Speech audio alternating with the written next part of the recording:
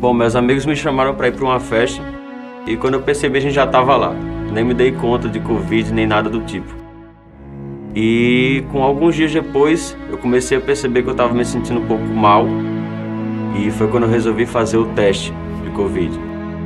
E recebendo a ligação que eu estava com a Covid foi que minha preocupação aumentou por morar com minha mãe e perceber que os sintomas poderiam ser piores nela do que em mim. Quando eu percebi que eu podia perder minha mãe, foi que fez eu pensar realmente, não, eu não vou mais sair de casa, Covid não está aí para para ser uma brincadeira, e sim uma coisa séria que mata assim as pessoas. A pandemia não acabou. Quem sai e não se cuida, traz a doença para casa. Cuidado com as confraternizações. Cuide bem de quem você ama.